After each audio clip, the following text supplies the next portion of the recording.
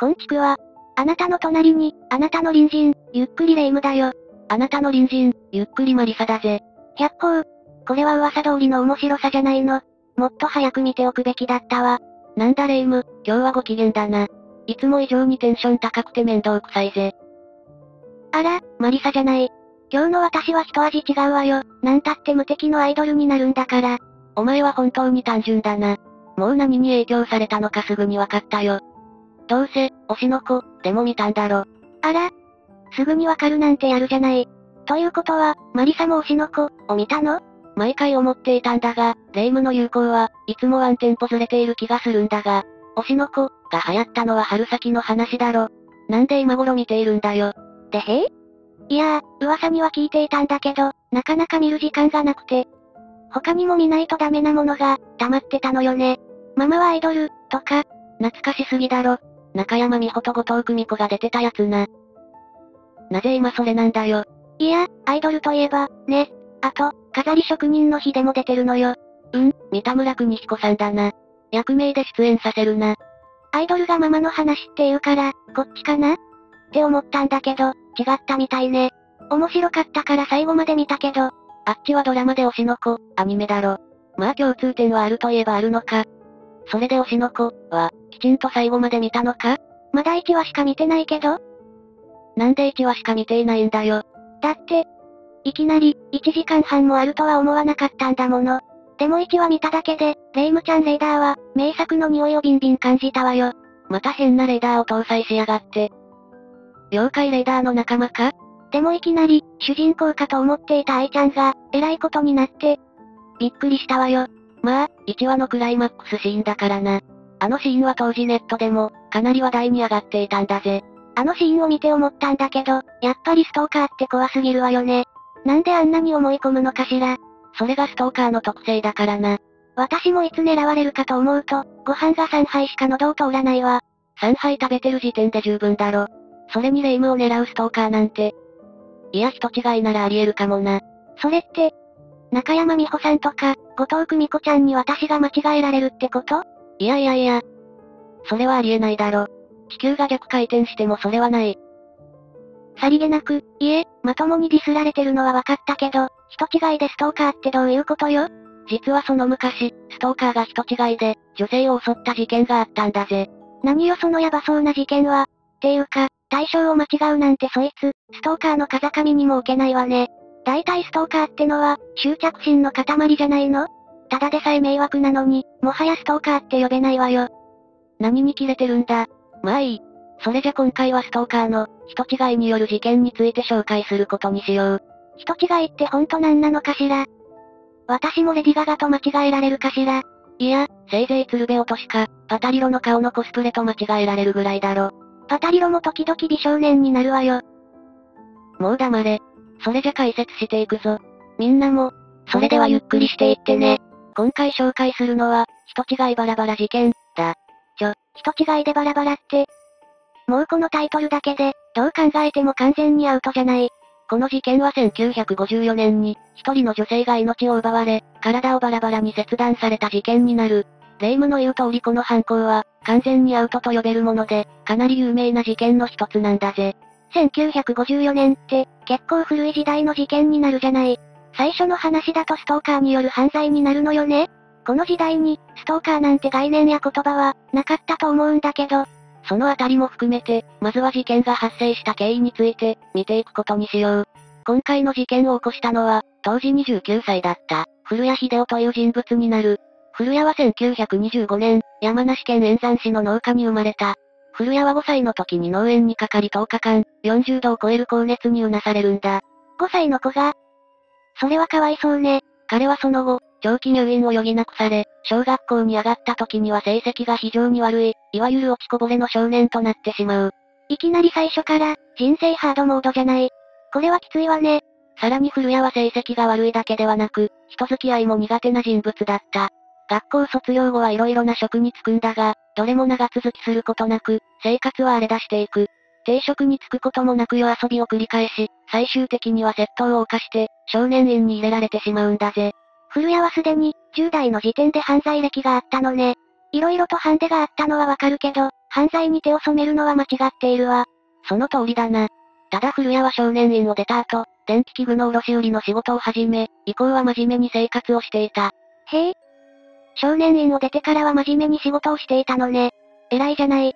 しかし古谷が25歳の時に、電気器具にかかる税金が跳ね上がり、卸売の仕事が立ち行かなくなる。その結果、せっかく真面目に働いていた、電気器具の卸売業を、廃業することになったんだ。そんな、不運が続くわね。でも、社会情勢の変化ばかりは、どうしようもないわよね。でもせっかく、真面目に働いていたのに、そんなことになるなんて、ショックが大きかったでしょうね。そうだな。残念なことに職を失い失意の古谷は、再び定職に就かず街をぶらつくようになる。これは、あかんやつね。またただれた生活に戻っちゃうわよ。ちょうどこのタイミングで、県内にダンスホールができたことで、古谷はそこに、毎晩のように通い始めることになる。そこで古谷は一人の女性に出会うんだ。その女性は非常に美しく、古谷に優しく接してくれた。古谷はその女性に一目惚れし、恋心を抱くようになるんだぜ。優しく接してくれたということは、女性の方も古谷に興味を抱いていたのかしら？これは、いい感じに頑張れそうじゃない？そうだったらよかったんだが、残念ながら女性にはそんな気は全くなかった。ただこれまで、女性と親しく付き合ったことがなかった古谷にとって、女性が優しくしてくれることで勘違いをしてしまう。うわぁ。これはよくあるパターンね。モテない男って、ちょっと優しくしたら、すぐに勘違いしちゃうのよ。私も高校時代は、多くの男性を勘違いさせちゃって、胸が苦しかったわ。霊夢の場合食べ過ぎで胸が苦しいだけだろ。ちょっと、相変わらず失礼ね。こう見えても高校時代の私は、また高校時代とか言っていると、年齢がバレてしまうぜ。おっと危ないところだったわ。まあレイムが17歳だなんて、誰も信じていないがな。あと、胸もないだろ。存在自体がな。ぐぬぬぬぬぬ。話を戻すぞ。結局古谷は優しくされたことで、女性が自分に好意を抱いている、と思い込むようになってしまう。典型的な、ストーカー誕生モードじゃない。なんだよそのモードは。あまり見た目や容姿のことで判断したくないが、古谷の容姿は俗に言うひょっとこ顔をしており、お世辞にも男前とは言えなかった。一方の女性は18歳の美しい女性で、古谷とはまさに月とすっぽん状態だったんだ。古谷からすると、高根の花だったわけね。優しくされて舞い上がるのもわかるわね。それでも古谷の女性に対する愛情は、日増しに強くなっていき、いつしか結婚するのが当然だ、と思い込むようになる。そこで両親を連れて、女性の家に交際を申し込むことにしたんだぜ。ちょ、ちょっと、何よそれ。まるで結婚の縁談みたいになってるじゃない。暴走モード突入、ね。エヴァンゲリオンのパチンコみたいに。そうだな。完全に暴走していた。古谷は縁談みたいではなく、実際に女性の両親に、結婚前提での交際を申し出に行ったんだ。これって、女性に告白とかしていないのよね。思い込みが激しいというか、ちょっとやばいわね。そこが思い込みの力だろう。女性からしてもびっくりしたと思うんだぜ。そりゃそうでしょ。ダンスホールでちょっと優しくした男性が家にまで交際を申し込みに来たら、正直なところ恐怖でしかないわよ。当然この申し出は、女性の両親に断られることになる。逆に、なんで了承されると思ったのが不思議だわ。ただこの時に女性の両親は、一つミスを犯してしまったんだ。ミス？古谷は少年院に入っていた前科持ちで、その素行の悪さは、女性の両親にも知られていた。しかも現在、定職についていないことから、仕事もしていない人間に、娘を交際させるわけにはいかない、と言ってしまったんだぜ。え、別に何もおかしなことは言ってないでしょ。私が両親の立場でも同じことを言っているわよ。霊夢もまだまだだな。相手は勝手に、女性が自分に好意を抱いている、と思い込むような男だぞ。普通の思考回路ではないんだ。あ、もしかして古谷は定職に就いたら女性と交際できると思ってしまったんじゃ。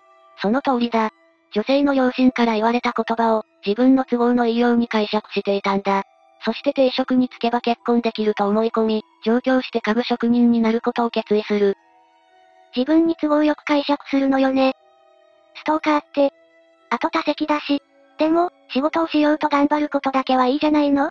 そうなんだが、長らく仕事をしていなかった古谷には怠け癖が染みついていた。結局、すぐに仕事をクビになってしまうんだ。すぐに定職に就こうとする行動力はすごいけど、本質は残念な人間なのね。その後古谷はドヤ街に移り住み、そこで、似顔絵描きの仕事などで生活するようになるんだ。しかしながら当然生活が成り立つはずもなく、そこで再び窃盗に手を染めてしまう。そして警察に逮捕されることになるんだぜ。一体何をやってんのよ。二回目の逮捕ともなれば、女性の両親が交際を OK するわけないじゃない。ああ。この頃になると女性の両親はもちろん、女性自身も古谷から距離を置くようになる。まあこれは、完全に自業自得だわね。ただ古谷の女性に対する愛情、いや、執着は、どんどん膨れ上がるばかりだった。そして再び古谷は、女性の両親に会いに行くんだ。だが、今度はきっぱりと交際を断られてしまう。なんでこの状況で交際できると思ったのよ。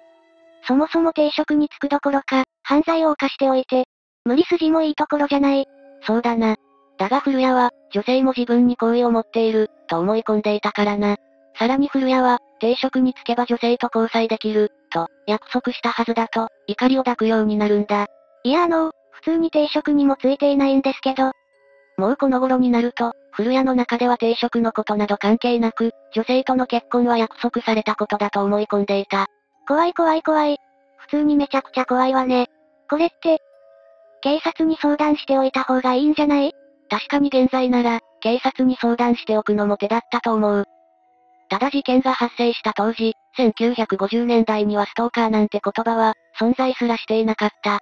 警察も相談されたところで、何もすることができなかったと思う。そうね。でもこのままじゃ、かなりヤバそうな感じがするんだけど。もちろん女性の両親も、古谷の異常性に気づき始めていた。そのため女性の身を案じ、埼玉県に住む姉の元に避難させるんだ。物理的に遠ざけるのは、ストーカー対策の基本ね。この両親、当時としてはかなりしっかりしてるわ。そうだな。だが古谷の執着心は相当膨らんでいた。古谷は彼女の姉の居場所を突き止めて、追いかけてきたんだ。もう完全に暴走しているじゃない。私の中のサイレンが鳴りっぱなしよ。それにしてもこれって、どうすればいいの？もはや逃げ続けるしかない。そう考えた女性は、身の危険を感じたため姉の家から出て、東京や静岡で、旅館の仲居をしながら生活するようになるんだ。一方の古谷は姉の旦那に説得され、映画館で働くことになる。なんで古谷のせいで、女性がここまでひどい目に遭わないといけないのよ。それに説得されて映画館で働くって、この男も意味がわからないんだけど。ただ古谷が女性のことを諦めて、映画館でずっと働くことなどありえなかった。仕事をしていた古谷は、結局女性への思いを爆発させる。まあそもそも思い込みが激しいし、もう、メンタルクリニックとかに行った方がいいわよ。こういう人間の一番の問題は、良識がない、ことだ。自分はまともだと思っている。思考や行動が周囲とかけ離れていて、異常に思われたり、迷惑をかけていると思わない。むしろ周りが二人を引き離そうとしている、とか、自分を受け入れない相手が悪い、などと、自分勝手な思考で暴走するんだ。そうなのよね。ストーカーって結局、自分はまとも、周りがおかしいって考えてるのよね。でもそんな奴が暴走したら。ああ、自分の気持ちを爆発させた古谷は、とんでもない行動を起こすんだ。もしかして、ああ、暴走した古谷は事件を起こす。そして執着していた女性とは、全く別人の女性の命を奪ってしまうんだ。うわぁ。そういえば今回の事件は、人違いによる犯行だったわね。古谷があまりにも異常すぎて、すっかり忘れていたわ。では次に、その事件内容について見ていくことにしよう。古谷は女性が逃げ続けるようになると、ある妄想を抱くようになっていた。ある妄想？それは結婚相手である自分に、なぜ居場所を教えてくれないのか？もしかしたら自分とは別の男性と、すでに結婚してしまったのではないか、と考えたんだ。そもそも、古谷も交際相手でも、結婚相手でも何でもないんだけど。っていうかとんでもない思い込みね。ストーカー行為の基本は、自分の都合のいいように思い込むことだからな。そういった意味で古谷は間違いなく、ストーカーと化していたんだ。完全なるストーカーと化した古谷は、映画館の仕事を辞めて、女性探しの旅に出ることにした。そして流しの似顔絵描きをしながら、女性を探し始めるんだぜ。ある意味、思い込みの力ってすごいわね。まるで自分が、お姫様を助け出す英雄と錯覚しているみたいね。それに似顔絵描きって、無駄にスキルが役立ってるし、古谷が女性を探し始めてから4日後、1954年9月5日に強行が起きる。埼玉県内で女性を探し回っていた古谷は、入間郡高品村で、一人の女性を見つけるんだ。古谷はその女性を、自分の思い人である女性、だと、勘違いしてしまうんだ。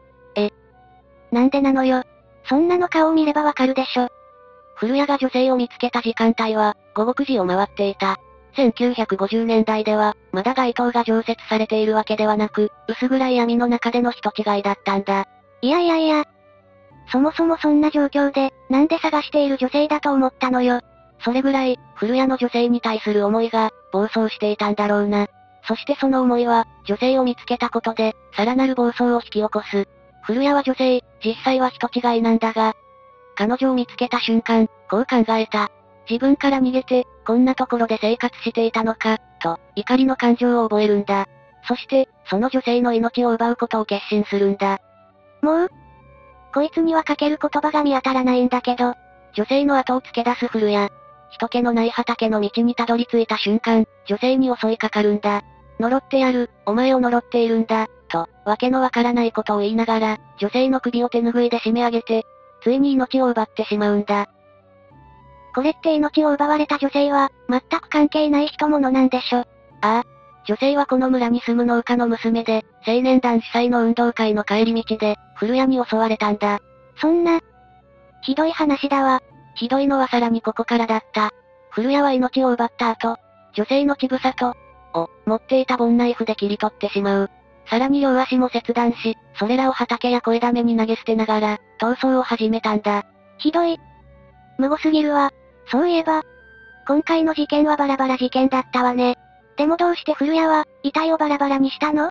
後の法廷で古谷は、平素の鬱憤が爆発したためだと語っており、彼女の女としての価値をなくすために、大切な部分を切り取ったとしている。さらに女性が歩いて逃げ出さないように、両足を切断したと証言しているんだ。さすがにヤバすぎるわね。もはや狂気だわ。それにしてもこの時点で、人違いだとは気づかなかったのかしら？興奮していたこともあり、全く気づかなかったらしい。実際に古谷が人違いだと気づいたのは、翌日の新聞を見てからだった。でもこんな雑すぎる犯行では、すぐに捕まるんじゃない？ああ。事件発生から74日後の11月18日、古谷は警察に逮捕されることになる。そして裁判にかけられるんだが、ここでとんでもないことが起こるんだ。まだ何かあるの？では最後に、古谷の裁判を見ていくことにしよう。犯行の異常性から古谷は、精神鑑定にかけられることになる。まあ当然よね。これだけのことをしてるんだし。その結果、古谷は道徳意識が低く、軽い精神障害であると認められたんだ。それじゃ、無罪になってしまうのかしら？いや、犯行時には、重い意識障害があったわけではなく、責任能力はあったとされた。そして1956年2月21日、浦和地方裁判所は古谷に対して、無期懲役の判決を下ろしたんだぜ。え。うーん、やっぱり無期懲役になるのね。犯行の内容や動機を考えたら、極刑でもおかしくないレベルなんだけど、やはり被害者が一人というのが、どうしてもネックになるのよね。ただ検察は、関係のない女性をバラバラにし、遺棄したことの凶悪性は極刑に値するとしていた。そのため控訴するんだが、同時に古谷側も控訴を行ったんだ。警察はわかるけど、なんで古谷まで控訴するのよ？無期懲役じゃ刑が重たいとでも言うの？ああ。古谷側はあくまで犯行は、女性を愛していたためのものであり、無期懲役は重いと反論していたんだぜ。気でも狂っているのかしら？いや狂ってるわね。何を愛していたためって？全然反省していないじゃない。これは難しい問題かもしれないけど、被害に遭った女性のことを考えると、極刑しかない気がするわね。古谷が犯行を反省していないことは、1956年20日に行われた、控訴審で明らかとなる。ここで古谷は法廷内で、前代未聞の強行に及ぶんだ。なんか嫌な予感がするんだけど、控訴審では検察側証人として、古谷にストーカーされ続けていた女性が出廷する。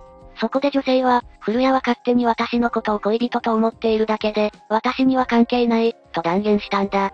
するとこの証言を聞いた古谷は激怒し、いきなり証言台から引き下がろうとしていた女性に、襲いかかったんだ。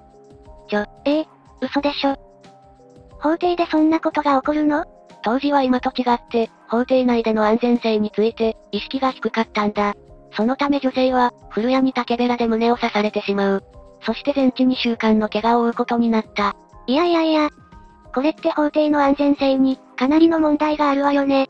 ああ。実はこの一件を境にして、法廷内での安全性が、協議されることになったんだぜ。これって古谷の判決はどうなるの？こんな強行を起こしたのなら、かなり厳しい結果になると思うけど。ああ。10日後に再度行われた控訴審では、一審判決は棄却され、極刑が言い渡されることになった。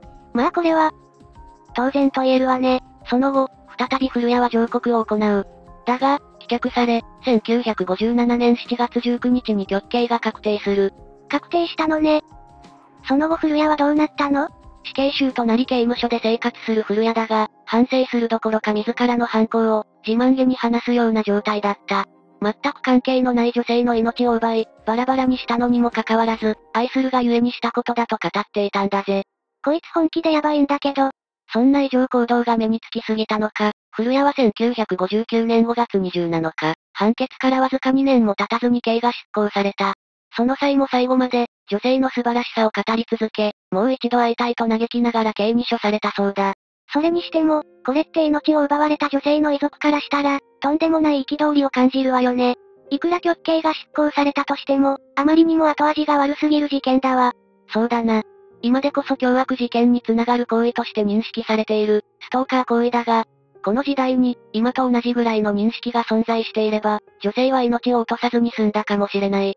やっぱりストーカー行為って、怖すぎるんだけど、無敵のアイドルを目指す私としては、ちょっと対策を考えないとね。アイドルになる話は本気だったのかよ。っていうか、無敵なら大丈夫だろ。そうだ、いいことを思いついたわ。ねえマリサ。いやいやいや、言っておくが霊夢の護衛権、マネージャーなんて、絶対にやらないからな。なんでわかったのよ。霊夢のいいことなんて、大概俺にとっては悪いことなんだぜ。ちゃんとお給料払うから、どうせブロマイドを、給料代わりに渡す気だろ。ここまで私の考えがわかるなんて、まさかマリサは超能力者なの。わけのわからないことを言っている暇があるなら、部屋の掃除でもしろよ。大丈夫よ。ま、ね、え、じゃ、あ、片付けもよろしくね。お断りだ。みんなの周りにも、思い込みの激しい、自称アイドルがいるかもしれない。そんな奴のマネージャーなんか、絶対断れ。何言ってるのよ。きっと視聴者のみんなは、私のマネージャーになりたくて、うずうずしてるわよ。霊夢のマネージャーになろうとする奴は、訓練されすぎた視聴者、だけだ。ある意味洗脳だ。みんな逃げてくれ。ふふふふ。みんながまた会う日まで、無事でいることを祈るのね。みんな、次回までのお別れだ。それまで皆が、無事に逃げ続けていることを祈ってるぜ。それじゃ、次回も私たち、いえ、私のマネージャー兼、隣人として、ゆっくりしていってね。ゆっくりできねえよ。